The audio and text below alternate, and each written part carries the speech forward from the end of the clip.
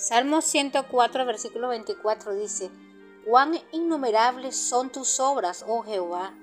Hiciste todas ellas con sabiduría.